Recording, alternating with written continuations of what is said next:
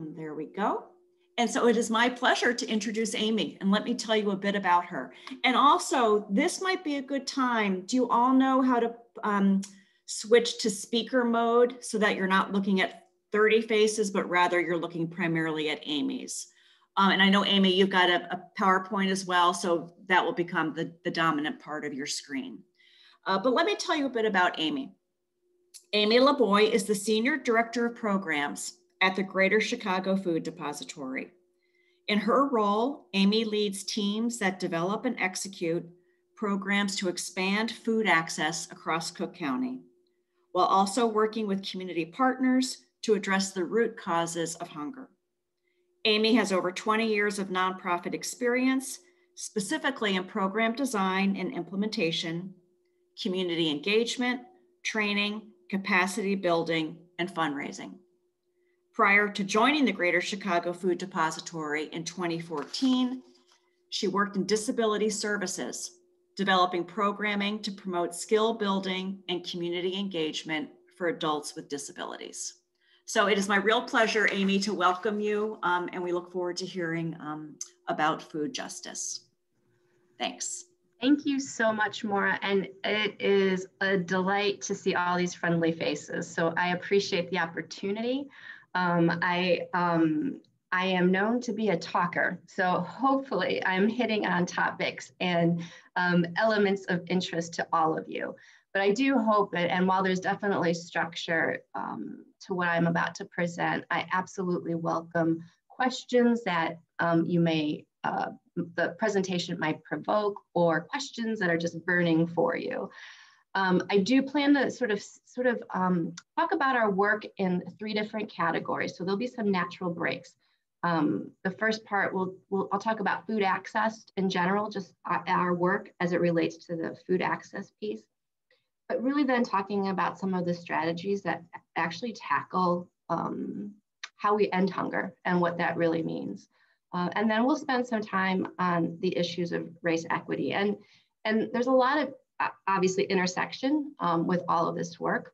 I'll definitely talk about the work as it is um, sort of pre-COVID, but COVID influences and, the, and everything that has happened as a result of COVID um, and the social um, uh, unjust that has happened you know over the last year has definitely informed where we are today as well so it'll definitely you'll see that influence throughout the different work so here at the food depository i'm a part of a team that's called community impact and we're the team that is really working closely um, on all of these um, sort of partnerships throughout cook county to support uh, um, food justice.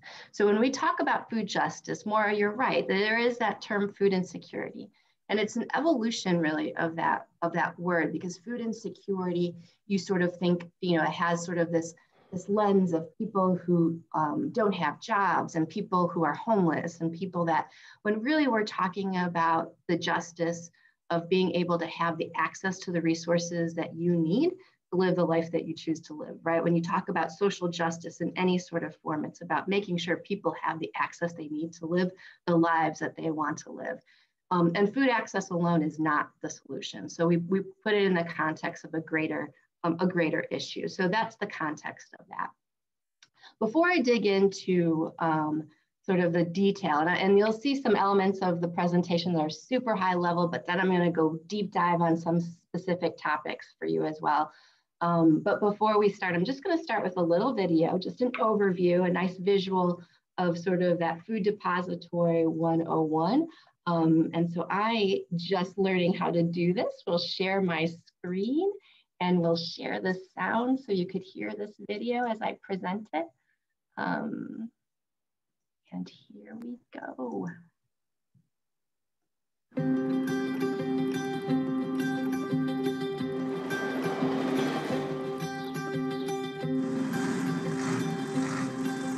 Food. It's the most basic need. More than simple sustenance, food fuels hope and makes more possible. At the Greater Chicago Food Depository, we believe a community's strength, growth, and well being all start with food. So every day, we work to provide food for those in need now and to eliminate the causes of hunger in every community throughout Chicago and Cook County. Now, because of COVID 19, hunger is soaring. In over four decades of feeding our community, we have never faced a need so great. Part of our mission is to address racial inequity's role in hunger the pandemic is affecting people of color disproportionately, making our efforts even more crucial. With everyone's help, we're facing this new challenge, working even harder, being more nimble. The best part of my job is going out to the communities and seeing the smiles on people's faces. Makes me feel good. We bring food and hope to children college students, older adults, veterans in need, our neighbors. We help connect people to the benefits they need to get by and create paths out of poverty. But we can't do it alone. Every day, we partner with a network of more than 700 organizations and programs, our generous donors, from individuals to companies and foundations, and passionate, dedicated volunteers. When I volunteer, I'm helping everyone working people, veterans, people who are homeless, children. Together, we work to bring food, dignity, and hope to our neighbors. Hope starts with food. When we help those most in need go from hungry to hopeful, we truly become a greater Chicago.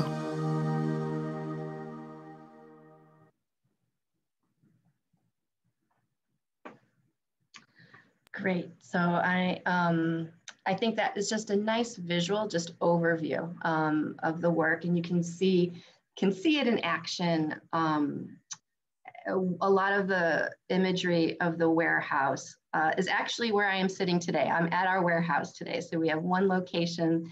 We're right near Midway Airport, and this is the hub of, of where our food comes from. Um, and so if you haven't been here at some point, once we're on the other side of COVID, definitely welcome you um, to come out and visit us uh, and take a tour with me. Um, but I'm gonna go ahead and launch my presentation now as well. Um, here we go.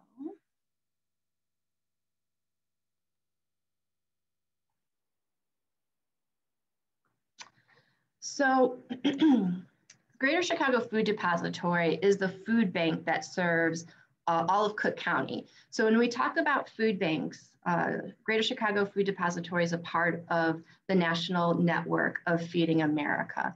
And the way that we as food banks work is very much geography.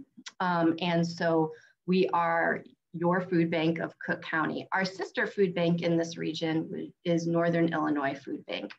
Um, so we work as partners, we share borders, we do a lot of obviously support in this you know, northern part of the region together. Um, across the uh, US, there's over 200 food banks um, that cover all the territory known, um, what is known as, as, the United States. So um, we are, you know, uh, as I said, a part of that Feeding American network. Um, and what we do, of course, is provide the food access that individuals who are um, experiencing barriers of access um, are experiencing. And so there's lots of ways that we get food out to our communities, and we'll dive into a little bit around that um, shortly. Most, almost all of our work is done through partnerships. So we partner, as, as the video outlined, you know, over 200 different programs and partners um, of all types of, uh, uh of of sizes and um, all types of missions, but all united in the same mission of making sure that there's food access and providing um, the supports for folks to live the life that they choose to live. Um, and then a big part of the work is, you know, while food access is critical and we support a lot of food need, um, it really is about making sure that we are working to get at that root, cause of hunger, which is poverty it really is that issue of people having the financial stability and income to be able to live the lives that they choose to live, and that we are part of uh, solutions to help support individuals um, in that in that journey to you know, stability. So when we talk about our work, um, we certainly have some guiding principles and, and you know, obviously with the eye toward food justice, the principles that guide our work is obviously first and foremost, as we've talked about, is making sure that those in crisis have access to the nutrition, the food that they need.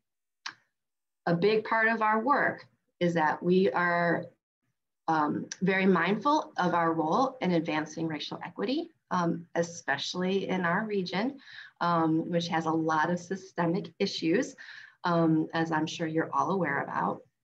Um, economic stability is a is a pillar. How, how do we help create solutions that provide economic stability, or how do we show up to support solutions that um, provide economic stability? Um, how do we engage and mobilize? So, really having that principle of engaging and educating and mobilizing um, toward that, that food justice umbrella. And then, of course, investing in people and, and capabilities. So, um, we'll talk a little bit more about what this means in the presentation, but you know, as the food bank, we're known as giving food. But again, food is just a short-term patch to the issue. So how do we invest beyond food to make sure people have the supports that they need, the opportunities that they need, and that our partners are built in a way that they have the capabilities to rise up and meet the needs of the communities that they serve. So another framework um, to sort of illustrate our work is just how we approach our work. So again, that bar along the top is just calling out that we do not do this work alone. Our work is primarily done through partnership, that folks that are aligned in mission from the partners we work with to the volunteers that are in, in the network, um, and that there's a lot of partnership that makes this, this work come to life. Um, we are on those pillars of food, making sure that we increase the access to nutritious food and nutrition. We'll talk about that. It's not just about food in general, but it's the quality of food that people have access to. Um, nutrition is a big component of that and being mindful of what healthy means. Um, and that we are doing work that's what we say unleashing the opportunity in individuals through benefits and employment and really connecting people to the financial resources that they need to, to support them, to support the, the choices that they want for themselves. All of this is to be informed by the community and the voice. It's one thing for us to think what we have the solution, but we don't. Um, we have data and we have experience and we have best practices, but what do people want and need? And what's the, the responses that we should be building to truly meet the needs of those folks that are living their lives every day making trade off decisions? and that all of our work, the underpinning should be um, guided by equity and making sure that we are making deliberate choices that support um, those that have um, historically been marginalized and not supported. So this is a snapshot of this map. These little dots represent, and it's a bit outdated, but this little map, these dots represent the various partners that we have that we work throughout Cook County. So this is a map of just Cook County. Um, and all those dots represent various partners and programs that we operate. And that actually map is a snapshot of September 2020. So that's are pretty stable, but they change. Um, and what that those dots represent are those 700 different programs and partners that we work with. So who are our partners? Um, in terms of food access, our partners, um, when we talk about food access, we have over 450 what we call traditional partners. And so when you think about food insecurity, food access, most people envision that traditional food pantry, the soup kitchen, or the shelter that is working to provide food um, to those in crisis who need access to food. And throughout Cook County, we, we support about 450 different partners that fall in this category. Those partners are all different types, um, all different sizes, um, nonprofit organizations such as a Lakeview Pantry, whose core, core mission is food access, to faith-based institutions um, that are you know committed in their faith mission to provide you know two hours of a food pantry every week um, to schools um, and some system partners as well that have recognized uh, themselves as an, an anchor in the community and opening their doors to the community. And so there's a lot of different sizes and abilities. Some of those partners are serving thousands of people a week, and some of those partners are serving 100 people a week, but they're all working um, toward mission to ensure that those folks in crisis have access to food.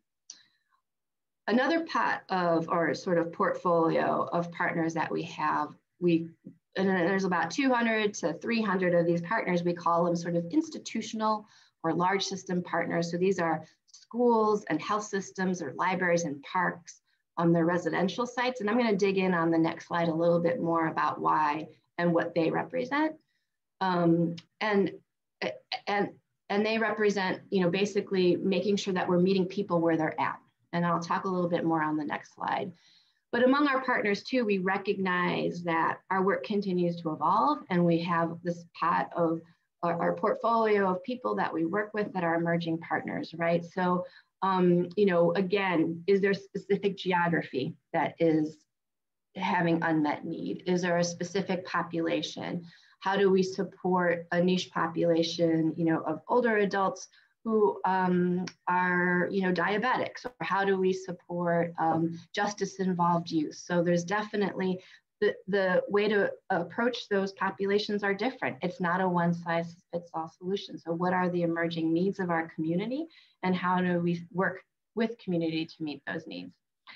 And I'll talk more about benefit outreach and SNAP in, a, in some future slides, but I think it's really noteworthy that to say that most of our partners, of course, are aligned in this mission because again, it's about providing people access to choice and benefits and dollars and helping to support individuals in the enrollment of SNAP is a huge, huge um, uh, need and response, and many of our partners engage in that, as well as making sure we're helping to connect people to employment um, and workforce training opportunities. So to talk a little bit more about um, some of those population-specific responses. So again, I referenced geography as one of the areas. Um, we have this amazing network of food pantries, soup kitchens, and shelters, but we do know that there's gaps in our geography and we may not have a brick and mortar um, location. And so how do we support specific geography if we don't have a partner? And we do that oftentimes through a mobile response. Um, and our mobile responses are, are basically working to identify a partner to work with us um, to help sort of create what many can call sort of a pop-up market and making sure that you know at the end of the day it's a temporary response that we hope to cultivate in a long-term response that's really reflective of what the community wants and needs um, so this is um, takes form in two different ways we have trucks that go out and it's all it is is fresh produce because we do recognize there's definitely parts of our region um, that don't have enough access to fresh produce, or if they do, the price point on such on such food items can be um, prohibitive.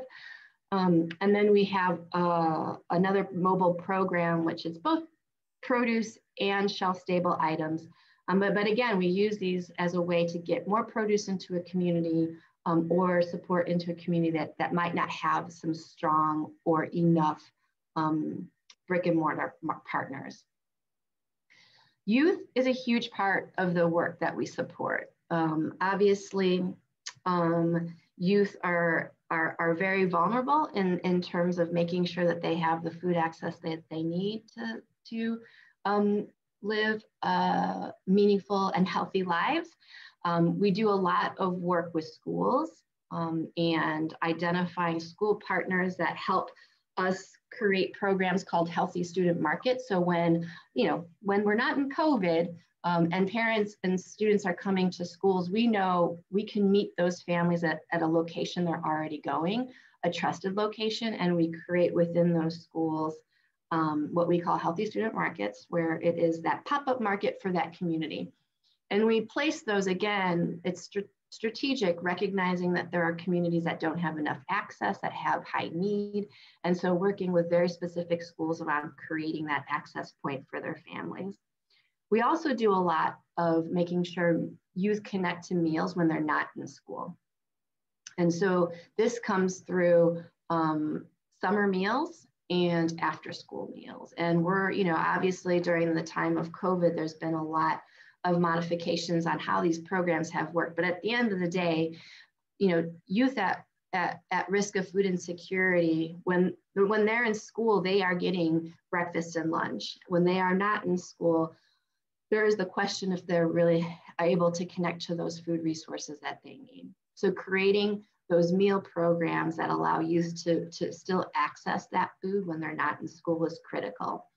During a traditional summer, so pre-COVID, um, we worked with over 240 um, partners across Cook County to ensure that youth could show up to their locations and receive those meals throughout the summer. Um, during COVID last summer, we worked with uh, about 120 programs still, which was still pretty remarkable.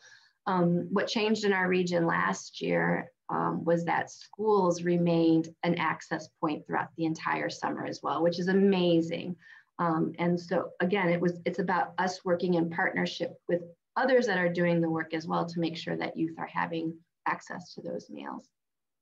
And the same is to be said with after school programs as well. So again, um, working with partners when children leave that traditional school program, maybe they're going to a YMCA after school program or a mentoring program or a park district program.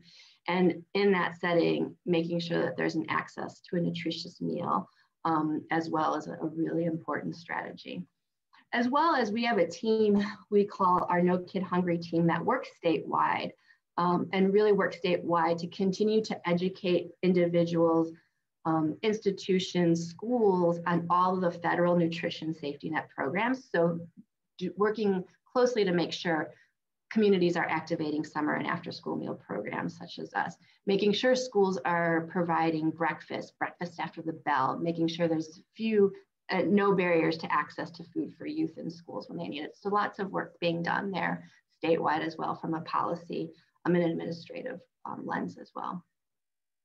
We have programs that focus specifically on older adults. So making sure, again, we're meeting older adults, um, specifically older adults who are um, living um, in um, low income housing. So we have really strong relationships with both Chicago Housing Authority as well as Cook County Housing Authority and work with over 100 residential buildings, um, making sure that those older adults that live in those settings have access to fresh produce um, and other um, staple items um, and that they're not having to make trade-off decisions about their dollars. Um, so that's a really important program, as well as we work with some senior um, uh, community centers um, to make sure that we have sort of that pop-up market for um, older adults in some of those communities as well. We have um, programs that are focused on just veterans. We work closely with the VA hospitals to provide access to the, to the veterans that show up and are provide services through the hospital systems, um, as well as we work really closely um, throughout the region with other um, veteran assistance support networks um, to provide just ongoing connection to resources and support takes a culmination, not in COVID years, in what ends up being two large events, um, you know, twice a year, different locations that really pull in and, and create a, a, resource fair for veterans. So it's a really important population to support. Um, and we're, we're thrilled to be able to do that in partnership with some really great organizations. And then the last nuanced sort of program I'll talk about is that we do have some work that we do specifically with healthcare partners, um, as well as we have our evolving body of work that is our prepared meal program. So again, really working closely to ensure that individuals who are having struggled accessing nutritious food um, get that access. And so how can you take care of your diabetes? How can you, you know, worry about your sodium intake if you can't even, you know, afford the items that you truly are to be eating? So we have some really specific programs designed around healthcare.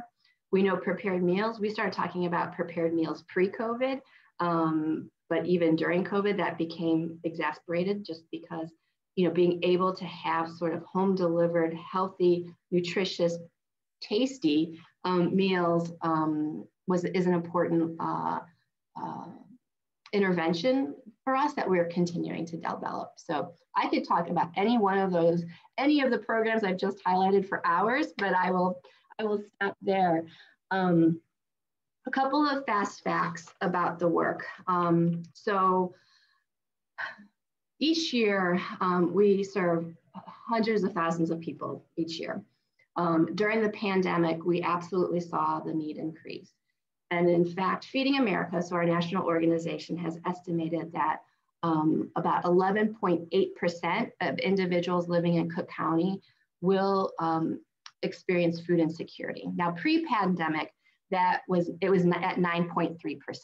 Um, so when we're talking about over 600,000 individuals, we're predicting are you know at risk of food insecurity.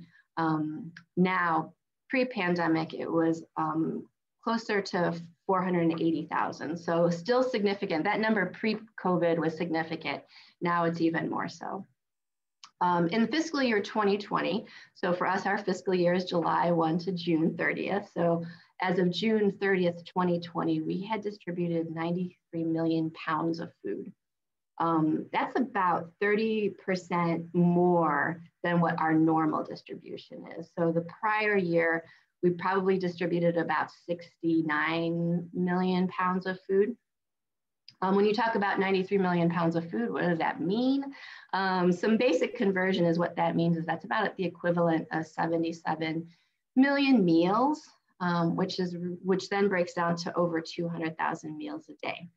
That through groceries, through all of our work, all of our partnerships, all of the different channels and ways that food gets out to our community, um, we we were serving about 200,000 meals a day through our network alone. And let's be clear, we recognize there are people that do this work that are not a part of the network, and they are just as critical. So if you're thinking about this as our network, plus what other people are doing, there's huge need that is still being met in our community. A little bit of a visualization um, of this. So here's again the map of Cook County. The map on the left um, represents the number of, it's a, just that heat map that represents the number of individuals that we served from January to March in 2020, so before COVID hit. From April until June of 2020, the map on the right, of course, then is that increased need. So you can see the high need communities that were high need prior to COVID definitely got hit hard and continued to be high need, but then you do see the shading and the need went up across our entire region. Um, obviously, we know a lot of what's fueled that is unemployment. Um, and so we definitely um, recognize as things are starting to ease up or feel better, we still have to deal with issues of unemployment. So there's going to definitely be um, a long-term um, impact of, of COVID that we'll touch on in a little bit. So what we saw in terms of a statistic is that we saw utilization go up about 120% um, in terms of utilization and the number of people that we serve through our, through our network. Um, to talk a little bit more about our COVID response specifically in terms of food access, um, uh, we've done uh, a lot to work with our partners to invest in their capacity. So we've done a lot of grant giving in this last uh, year. Uh, a making sure that our existing partners, our existing pantry programs, had um, the cash flow to continue operating. So we gave out operating grants just here, pay your light bill, pay, pay your staff. Um, we know you need this resource during this time of COVID when everyone was hit hard. Um, so we, our grant giving to our partners included some operational grants that were just allocated. Based on equity, there were a couple layers of um, of, of criteria that went into allocation. But then we also invited partners to apply for what they need to build capacity. Um, so apply for funding to um, improve physical space, um, create more accessibility, create more hours of operation, create more cold storage so they could hold healthier food. So we did a lot of capacity building um, in the last year, as well as going back to recognizing we have community areas that don't have all the access that they need, creating um, new partnerships. So inviting um, new organizations that could demonstrate that they are community anchors and building programs that were really wanted and needed by their communities. Um, inviting them to be a part of our network and helping to provide the financial resources to get them started. So that was a big, big part of our investment strategy this last year. It will continue moving forward. I'll talk a little bit about that in a few slides. Um, throughout COVID, we had a lot of new partnerships. So uh, if you heard any of our work over last summer, you heard pop-ups talked about. And so during COVID, we brought on over 50 new different partners in different locations to make sure we were meeting people where the need was um, the photo on the screen right now is, is the pop-up that occurred in Auburn Gresham. Um, and again, it was a hard hit community area, has some good partners there, but still had a lot of unmet need. And so we worked with um, Greater Auburn Gresham Development Corporation to establish a once a week drive up and walk up pop up model that was seeing about a thousand individuals, a thousand households every week um, they have um, evolved and they're still working with us. They are still doing some mobile distributions um, scaled back twice a month, but there's still unmet need. But that's one an example of one of the partnerships that formed because of COVID and continues um, be, um, through COVID um, and, and, beyond, because again, we know there's going to be continued unmet need um, once we get on the other side of whatever the new norm is a lot of our COVID response took the form of boxes. So if you know us and you know our work pre-COVID, you know we're all about client choice and people having the opportunity and the dignity to shop and make choices for the resources that they want and need. Um, obviously, because of COVID and safety concerns, a lot of that went to sort of pre-packed boxes of food. Um, and we had an amazing, mighty, mighty network of volunteers that helped us helped us build boxes, um, if you know anything about some of the federal response, there was a program that is still continuing at this moment, the um, uh, Farmers to um, Families program, the CFAP program through USDA, and there was their boxes of food, so a lot of box commodities to really safely connect people to food resources. Um, again, we look forward to the day, and some of our partners are already doing it where we can safely do choice again. It's an important component of our work. Um, but the boxes are definitely, it was an amazing response that was definitely needed. And again, benefit outreach during COVID, again, making sure people were connecting to the financial resources that were available continues to be critical, even more critical during, uh, during COVID. Um, we have our own benefit outreach team. So we have a team that's dedicated all day, every day to making sure people who need help applying for benefits have that help, both SNAP and Medicaid. Um, and we also work with a network of our partners who are trained and they themselves support folks helping them to get enrolled. And during um, from March 2020 to March 2021, so the last year, that network of staff and volunteers have helped uh, 5,000 uh, households apply for SNAP benefits, which is huge. But again, it was making sure that it was about educating and getting the word out. So often, so much of our work is about making sure we're educating and breaking down preconceptions or stereotypes. Obviously, you know, trying to demystifying um, myths and fear around immigration and can children, uh, you know, all those things are at play, making sure that people and families that are eligible for WIC are accessing it, making sure families are aware of PEBT and the impact that that financial support can have on them on, and their families. So education is a huge, huge part of our work. So that's a lot about food access. I'll do a quick pause there and see if there's any questions about just that transaction of food and connecting people to food.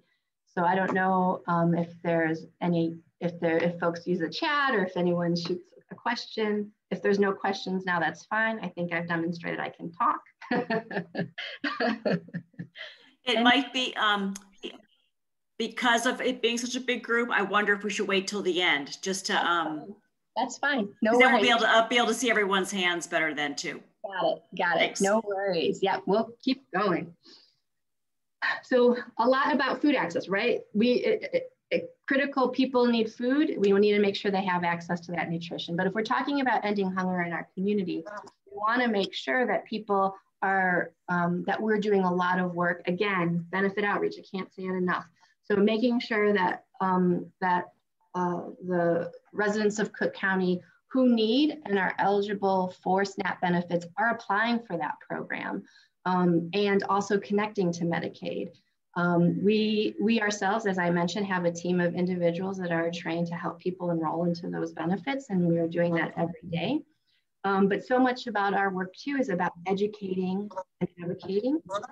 And so WIC is a really important program. We ourselves are not a facilitator of WIC, but we know WIC is terribly underutilized in the state of Illinois.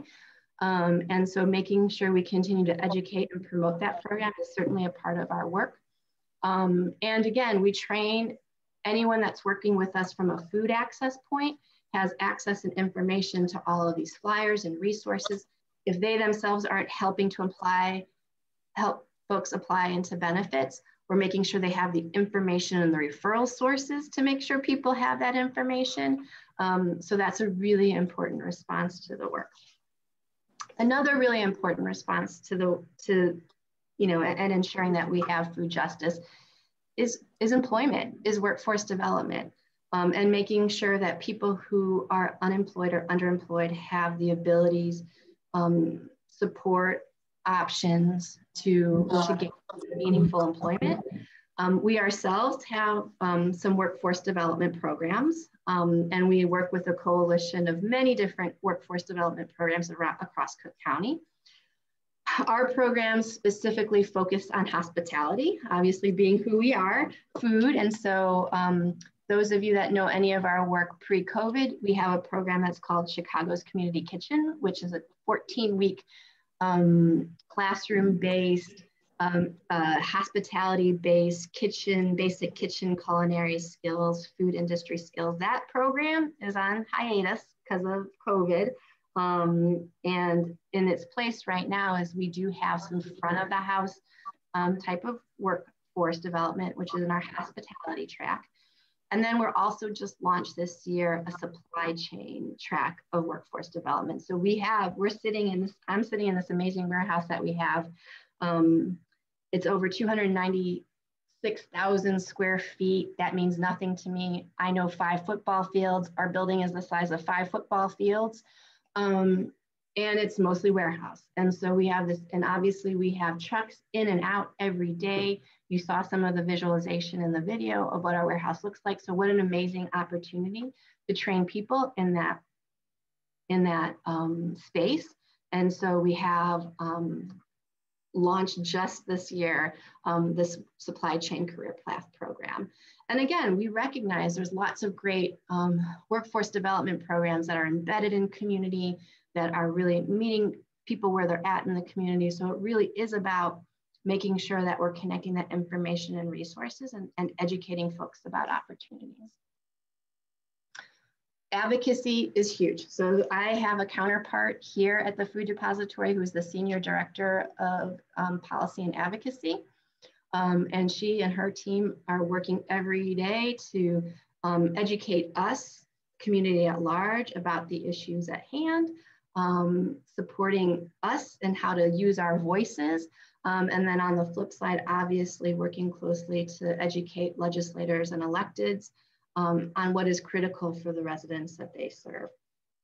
Um, at the end of the day, um, we, of course, when we talk about advocacy and policy, we're focusing in as an organization on the things that um, are critical to food access and food work. And on this slide, you'll see it's, it's illustrated in that upper left back block of champion. So these are the programs that we will always champion. We're gonna, we are gonna try to lead the pack to make sure that SNAP is, is, is meeting the needs of our residents and that all of those very food nutrition specific programs, we're front voice loud edu- uh, advocating and really um, pushing the, the envelope on, on making sure we're meeting the needs of our, our, our constituents.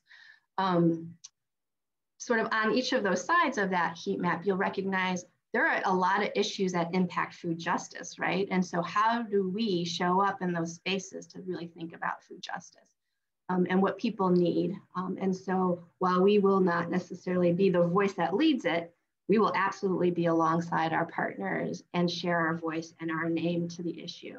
So things like protecting immigrant families, supporting justice involved individuals, anything that's tied to state budget that is going to be about um, human services. Um, and of course, some of that health and hunger stuff. There's lots of weedy administrative stuff about funding that through Medicaid and you know Older Adults Act and all that kind of stuff. So making sure that we are there alongside those partners and those experts and lending our voice and our support and active. And then we support and monitor. So recognizing there are things that are critical. Again, we will show up. You tell us where to be and what you need us to say, and we will be there. I think one, of course, that pops up and is so critical. Again, employment and training, minimum wage increases. You know, that's that's not our area of expertise, but we know how critical it is um, in terms of food justice. So we'll show up um, and monitor and you tell us what you need us to sign and we're there because that's such an important thing and we'll use our voice to help elevate those needs. So that's just a little snapshot. So our, our teams are working really hard um, every day because it is that constant education information sharing, um, both with us who, who are the voices of our electeds, but then you know really helping to create um, policy change and advocate, advocate within um, that elected system to make sure um, we're doing right by the residents of Cook County. And then the other thing I'll mention in terms of, um, hmm, in terms of important, that's not necessarily about food access, but it is about the quality of the food, right? And really focusing on it's not just about food alone, but it's about the quality of food, um, the nutrition of the food that really impacts our overall health.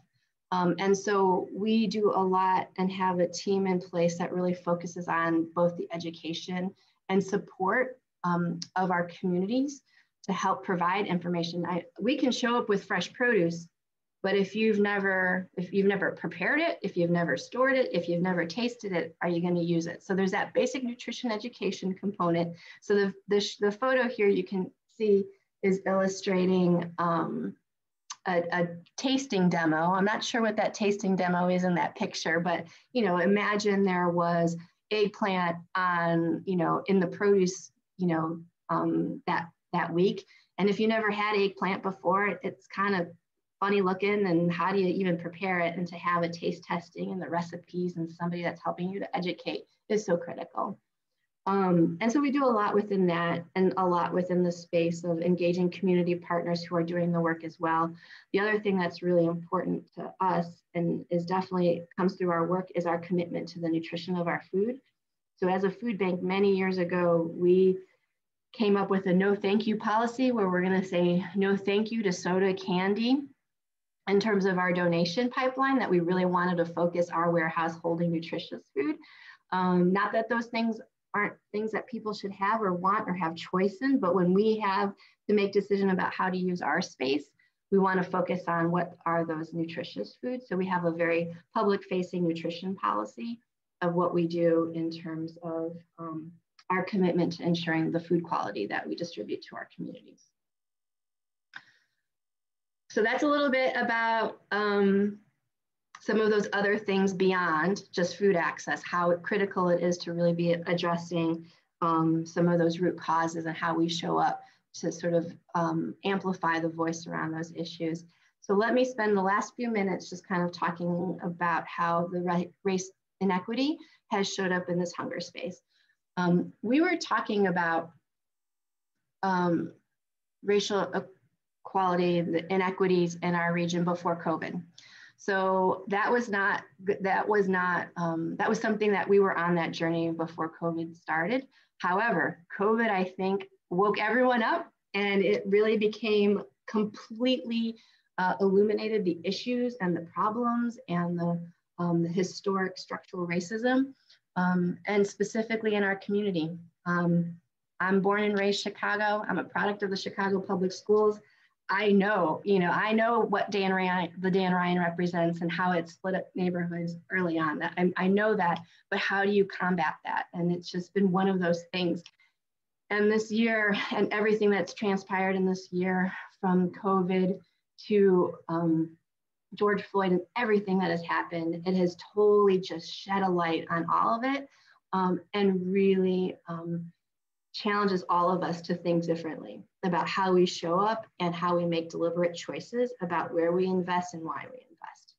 Um, and so we know some of the stats here on this slide are really talking about what, what COVID ended up illustrating in the fact that during COVID, um, you know, a lot of the folks that were um, disproportionately impacted were those individuals who were, are, who were Black and Brown um, and who are living in some of those communities that have had that historic, um, you know, sort of structural racism issues. Um, and so that was not any new news, but what we recognize it was an opportunity to really think about how can we in our mission work toward achieving race equity.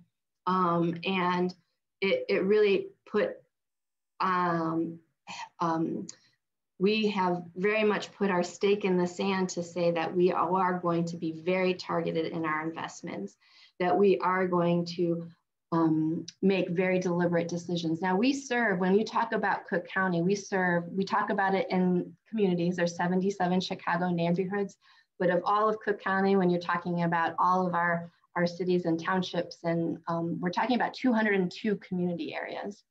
Um, and every community area, there's need. So I absolutely, there, there's need in every pocket of Cook County. Um, and we are working with partners across Cook County to meet those needs. But what we do know is that there are more needs in some of that south and west um, corridor, and that we're going to make very targeted and specific um, investments in some of those communities to help level the playing field of access and opportunity. And so specifically, oh, this is a map um, that really talks about the purple shading is food insecurity, and then the orange is COVID, um, uh, confirmed COVID cases, and this was October of 2020 that that map represents. So again, we can recognize it's hitting everywhere, but those again, impacts were really um, hitting those communities of color um, on Chicago's south and west side. Um, and so when, when we talk about the work and we talk about then how are we really making choices to be deliberate and strategic, um, one of the things that we look at when we do our work is to identify, instead of what Feeding Americans calls is the food insecurity rate, we've developed for ourselves something that we've called our food insecurity risk index. Because for us, what we really wanted to look at is in terms of a, a population, a zip code, a community area, how many households are living at 200% of the federal income, the federal poverty line. We use 200% because at that, you individuals who are older adults and people with disabilities are eligible for SNAP benefits. So that 200% of the federal poverty line, what's the unemployment rate? And what's the percentage of renter occupied. We use that as a proxy for wealth. So that creates the index. So when I talked on this previous slide, the food insecurity index, that purple, those, the dark shaded are obviously some of our highest need communities. So we took it a step further and we like, we're gonna call it out and say, listen, we're gonna be really deliberate in these 40 priority communities. And so listed on this slide are the 40 priority communities that we are, um, again, we're supporting all of Cook County, but we're paying special attention and being very intentional in these 40, meaning we are staff on the ground. What does the community want and need? Is there enough food access? How is benefit enrollment happening in this community? Do we need more enrollers? Do we need more partners? How are we showing up? How is food access showing up? What are the investments being made into this community to ensure that the resources are here? Who are the who are the stakeholders? Who are how's transportation in this region? And not that we're transportation experts, but we should be talking about transportation with those that are transportation experts. So really being very deliberate in these communities. And so when we talk about, um, and this is one of my last slides, that when we talk about um, our strategy moving forward, again, our strategy includes that very deliberate investment in community and partners. Historically, pre-COVID, we invested by food, by providing food and providing benefit outreach. But we know folks partners need more than the food resource, they need the financial stability to run their program. So we're making very much more targeted investments in helping to support and stabilize the infrastructure of our partners, as well as helping create um, new partnerships in terms of that infrastructure. So we will continue with our investments that grow the capacity of existing partners, that will start up new partners in communities that have um, gaps of need um, and how we, you know, kind of um, create responses that are community vision, community desired. Um, and so how we show up and make those investments alongside partners um, will be a big part of our strategy moving forward. Um, yeah, so I think uh, that is um, the overview a lot.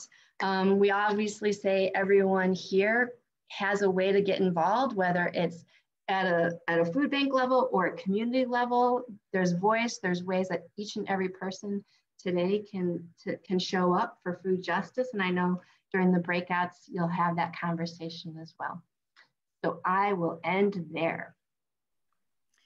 Amy, thank you. Right on, right on the nose too of 11 o'clock. Um, that was fantastic. It was such a comprehensive presentation and I was not aware of the range of programs that the Food Depository offered, nor was I aware of how widespread and deep the need is. Um, thank you very much. Why don't we all take a 10 minute break and then we'll get back together and we're gonna go into some small groups for a little bit of time. Thank you again, Amy. Thank you. I please raise your hand and um, we will get we'll get to you. And if you don't see us getting to you, just maybe uh, unmute and speak up. But I see Tom Grammons first with a question. My question is, what is the connection between the food depository and potential healthcare activities and screening? For example, if you had a dental technician or a physician's assistant there to identify people who have that need and get them pointed in the right direction. So does anything go on there? Great, that's a great question.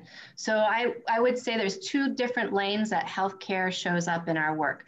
So I talked about the work about nutrition education. What I neglected to say is that it's nutrition and health education.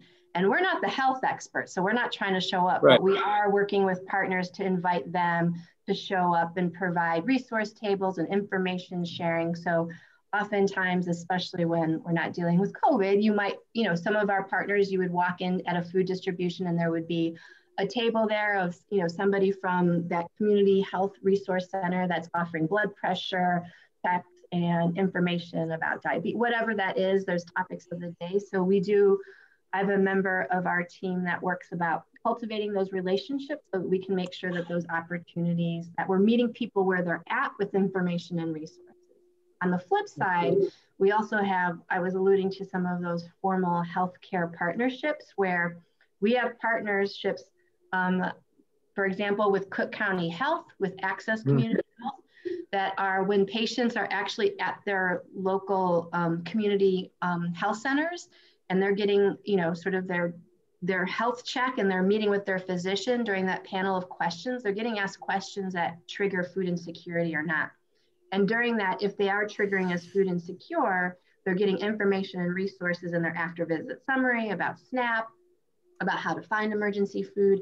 And in some of those situations, we are actually in a partnership where once a month or once every other month, we're showing up. We have a, a team that shows up of volunteers and staff and does basically a farmer's market. So pro, fresh produce for those patients that have um, been invited um, uh, to, to, stop by and get that resource from their health clinic. So it does show up. Health is important, absolutely. Mm-hmm. Great, thank, thank you. Thank you. Um, and I saw Susan McGowan, and then we'll follow after Susan Beth. Um, and be sure to unmute yourself, Susan. I saw that uh, in the, your efforts to promote and upgrade food pantries, you want to make them stigma free. And I would love to know what that means. How can you do that? Yeah, it's a great question. So, number one, one of the ways that is core pre pandemic too, but it is that dignity of choice, right? So that you're setting up a situation where it's almost like a shopping experience as opposed to a pre packed bag. So number one, right off the bat, that's number one. What in terms of bringing on any new sort of pantry programs, we want it to be client choice. We want people to have the opportunity that if you want this item, you can have up to this many of that item, or you don't want it, that's fine. You have that choice. So choice is always, always a, a number one um, way to have um, just an element of dignity and respect, um, which does feed into that stigma thing that I'm somebody in need, but I still get choice. Um, the second thing I will say is we look for our new partners and we talk about stigma free. We want the spaces to be beautiful. We want them to be places that any of us would want to spend time in. So we have some really beautiful examples of spaces that have been created that are shopping experiences. We have partners that give flowers as a part of it because you know that's the experience we all have. We walk into our our or any of our grocery stores and there's this beautiful flower display. And so it's about making the experience one that's not shameful and more of a joyful experience and a community experience. So we have sites that have murals on the walls and is, you know, clients or guests of those pantries are helping to inform like this is what we want and need. Um, we'd love to see X, Y, and Z. Um, so it's about creating a community around it as opposed to like a, a handout. Um, just an experience that is is communal. Thank you. Yeah. Thank you. Beth? Uh, in my group, we, we were asking uh, the question about where the food comes from, the partners who provide the food, but also adding on to that, I can't remember where I read this, but maybe in the paper recently, that like something some huge percentage of the food that's produced in this country maybe 30% is wasted. Yeah. Uh, and i'm just wondering if the food depository focuses on that at all or if there's any um, people working on that issue because you know we could be yeah. feeding everybody if we didn't waste so much. Yeah that's a, a great question. So um, so number one, how food depository gets a big bulk of its food. So these are rough estimates. About a third of our food um, comes from federal commodities. So somebody in my group asked the question of, do we receive federal funds? We, see, we receive through USDA some federal administrative funds, but most of our support from federal, about a third of our food is actual commodities that's given to us by the government. Oh. Another third of our food is being sourced from donations straight from vendors. So if you think about Tyson, you think about, you know, sort of corporate um, food industry, about a third is getting just directly donated from them. And then about a third of our food we buy. Um, so we are obviously fundraising and buying. So anything that's showing up in our pantries is coming through that system right now. Um, you know, and, and of course we have pantry partners that are sourcing things locally as well and, and maybe getting other donations beyond us, but a big bulk of it's coming through those, that channel. Mm-hmm. A part of that donations line, so when I said about a third of our donations, a part of that kind of tying back to the food waste question is that we do a program called Food Rescue. Um, so we, you, we work with all the major grocery retailers, so Mariano's, Jewel, um, Aldi, etc., so that the products that reach their best by dates on the shelves, they got to pull them off the shelf. They can't sell them, but it's still good food. Mm-hmm. So we have partners that then we pick up or partners pick up that food, and so it shows up in food pantries the very next day. Mm-hmm. Um, so that's where we intervene with the food waste. Food waste is a huge conversation. I mean, it starts on the farms and how much is being left on the fields. Right. Um, and there's a lot of um, important conversations that are happening in that space. We're showing up, we're doing our part on this other end of it in terms of making sure that what's in our region isn't going to waste or thrown out, but being connected to folks that need it. Cool. Thank you, Amy. Tom? Amy, thank you for your uh, presentation. Uh, I actually had a, a comment, uh, not a question. Um, one of the resources that's on your website that we use quite a bit in my volunteer site is uh, looking up information by zip code to get uh, a list of food depositories in a particular area. It's something that we use in conversation. We also can give copies of that to our clients. So I just wanted to mention to everyone that if you're in your ministry work, if you need access to local uh, food pantries, if you don't know where they are, there's great uh, information available on the Chicago Food Depository website. Thank you, Tom, for saying that. Um, I should have had a slide about that because yes, it is an important referral source. And since you so actively use it, I will give you a heads up. It's going to change look in the next month and become much more robust. And down down the line, the vision is that those that resource will also share additional information about each of those partners, because many of those partners provide services beyond food. Catholic Charity Pantries is a great example of that. There's a lot of other social service activities that can happen there. So over the next year, that site will become more robust and a, even a more meaningful referral source. But in the basic right now, you have somebody that asks you, hey, I need help. You can go to our website. There's a button right on the front page. It says find food. You click on it, you type in a zip code, and it's going to pull up all the partners that we work with um, that have distributions for the public. Thanks, Thank Tom. You. And this is a tiny thing, but I live in Evanston and they just started a community refrigerator, which I guess are popping up in lots of places where it's an out, outdoor refrigerator and shelving and you can drop off food to put there and then people just know that it's available uh, to take if needed. Yeah um, and the, the organization that's leading a lot of the work is called love fridge. I think if that's a love fridge i know there's a couple different models but um, a really you know that's a great community program. We don't partner directly with them but we do know they're a part of that ecosystem and a really important one right? So that if i have a food item that i don't need i could put it in this shared community space um, and somebody that needs it can go get it, right? And so um, I know that the staff of Love Fridge make sure they mobilize volunteers to ensure it's clean and food safe and all that. Um, again, it just represents that there's a lot of great work happening um, in the ecosystem um, of you know food access, food justice. Yeah, and these were a few 20 year olds, I think, that got it started here in Evanston. I yeah. know there's two comments that you might want to check out, Amy, in the chat to see if you want to respond to those. Sure. Um, anyone else have a hand raised? I can't see. Oh, oh, yes. So how about Ann Garby and then Sharon? I was just wondering if you could talk a little bit more about your culinary training program, whether you foresee that starting back up perhaps this summer, how many people you serve, if they're placed in employment afterwards? Yeah, absolutely. So I'll start with the back end of that question because it's easier. Anyone that goes through our um, employment programs do receive placement and post-placement support. So we definitely work with a robust network of employment partners. So not only do you, you know, we hope that you're building skills that lead to your employment, we're going to help you find that employment. Um, and so um, you know, we definitely have a really good placement rate um, and retention rate. So we, you know, definitely some of the metrics in that work is, you know, what's your retention rate a year out? Um, and pre-pandemic, um, it was over 90%. So we have a pretty good rate um, of making sure that people are successfully matched with meaningful employment and it's for the long term. Something that's important for us as a workforce development program is that we're working to connect, our priority is to try to connect folks that go through our program to employment that not only offers the salary, but benefits as well. So that's a key component that doesn't always follow through.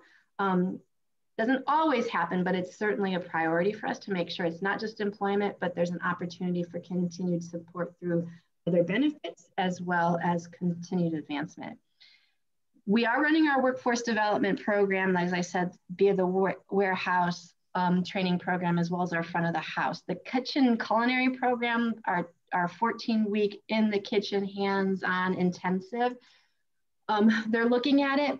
Um, I'm not sure when it'll start. It will come back, yes, um, but I'm not sure when yet. Um, they're still, obviously, we're still working through COVID. They're working on some modified versions of what can be in classroom, out of classroom. So we're probably a, a, a little while out from that, but in the meantime, we do have some really great, robust um, front of the house training and the warehouse training. And just recently, we're awarded some great grant support to provide hourly wage for those participants, which isn't always something that happens in a, in a workforce development program. So um, I can definitely make sure, um, I think there's a lot of on our website, but we can send some flyers and stuff too. Thank you, Sharon. I think you were next. Well, um, hello, thank you for your presentation. I really enjoyed it. Um, one of the things that I believe was in the uh, video that you showed was uh, the education part. Um, uh, someone was standing at a table explaining what an eggplant was. Um, and um, I was wondering whether you have any uh, written materials, and this would have to be in uh, English and Spanish, related to um, answering or explaining what certain foods are. Uh, because I could see someone opening a box and uh, thinking about what am I going to do with this eggplant. Um, and um, it, it would be, uh, I think, a nice idea that when in this box there's an eggplant or there's a head of cauliflower mm-hmm. um, for some tips on what you could do with it, how to cook it, you know, and maybe some uh, also some information about its nutritional value. Um, yeah. So Yes. So the short answer is yes, we do. Um, number one, obviously COVID's taught us a lot. So we're trying to get much more online, forward facing for general public. So I know um, my colleague who runs our nutrition education work is actually uh, working on a project now that puts a lot more front facing on our public website. So there'll be more to come in the months ahead for anyone to access. Right now, we do have anyone that partners with us has access to an online portal as a partner. And so they can log into the system and pull resources. So information sheets, nutrition sheets, recipe cards um, are definitely a part of that uh, resource. And so one of the things you that photo captured is on the table. There's like half sheets of paper. One side is all the information about eggplant. Why is it important? How do you store it? How do you cut it? And then on the flip side would be the recipe that they just tasted, right? So there's that, there's recipe cards. We have over, mm, I think they have close to 200 recipe cards in English, definitely, most of them in Spanish. That's definitely a part of our journey. We want to get more languages and be more culturally appropriate um, with our recipes and our languages. So things like that are in, in process and definitely continue to build. Thank you, Amy. Thank you. Um, Beth, before I call on you, is there anyone new that hasn't had a chance to ask their question? Speak up in case I can't see you. Oh, Maureen Garvey, do you have a question? Garvey. You're on mute though. You're on mute. All right. I wondered I don't about have a question. I wondered about areas that are called food deserts and it does this uh, does any is anybody working to um, i don't know if that's legal situations or to, to expand grocery stores in areas where there's food deserts that's a great question um, so I'll show you and I'll explain, I'll, I'll provide an example of how that shows up in our work, right? So um, one of, I'll, I'll, be really specific actually, one of our community areas is Austin. I'm sure you're all aware of that community area in the city of Chicago. Um, they actually have a community organizing group um, uh, called Austin Coming Together. Within Austin Coming Together, they have a subgroup that is called Austin Eats. That group is a cross section of case of stakeholders, community residents, we're at the table, other pantry, some of our pantry partners are at the table, um, food industry is at the table, grocery retail is at the table. So they are, as a community organizing group, talking about what our community needs in terms of retail, um, farmers markets, emergency food system. Um, so yes, when you, so it is happening. Um, it's not always happening equally across all communities of, you know, of course, different communities, um, you know, have different um, organizing groups, et cetera, but there is definitely a lot more intentional discussions around just that. What does a community really want and need? Um, there's a lot more attention placed on community development plans um, and thinking about it, um, you know, from a big picture about what's missing and what's needed. Because then you go down the, you know, not only is is there a need for retail, but what's the transportation system that supports that retail access and um, you know, what's the safety plan around it? So it really is, um, there's some really robust community organizing groups that are tackling such issues. Uh, and it's an important one to talk about, right? Because it, it, shouldn't just be about emergency food, it should be about a robust network of choice, um, meeting people where they're at and what they need. Thank you. We only have about five more minutes. So um, I think Camille has her hand up. Oh, do you? Thank you. Thank you, Beth. I don't know how to put the hand up there. That's okay. anyway, uh, my question is I mean, I know you can't give me an answer on this, but it sort of came up in our discussion too. I think we're very lucky, very blessed that things like IVC or Meals on Wheels or any of these things have opened up our eyes as ways to serve. And that that's wonderful. But how do we go the next step to work about actually changing things uh, that these situations you know improve. Even you know amy it was a wonderful presentation but when we when i hear things like we have all this stuff on our website all this information there are a lot of people that don't have access to a computer to uh, a smartphone and you know, I mean, I have no idea. It's not that's not a criticism. I'm just saying. No, you're right. You're right. Stuff is there, but I mean, I have friends right here who have smartphones. They don't know how to answer them. Mm-hmm. you know. You are absolutely right. Um, and these are things that we talk about every single day because it's not, there's just not one way. We have multiple prong ways that we have to reach people um, and it's not a one size fits all. So while the website, you're all here on the computer with me, so it's a safe thing to say that you probably can go to the website. I know, I know that. But if I were to show up at a community group, I might show up with flyers. I'd show up with a card that has our phone number um, that you can call us if you need help. I'd show up with a list of all the community organizations that I know work in your community so I can help refer you um, there's not any one way. And I think um, one of the biggest things that we talk about our work uh, is that more often than not, people just don't know, right? They don't know what question to ask. They don't know what's actually out there as a resource. And so one of the biggest things that I feel like any of us can do is just help to continue to spread the word and educate.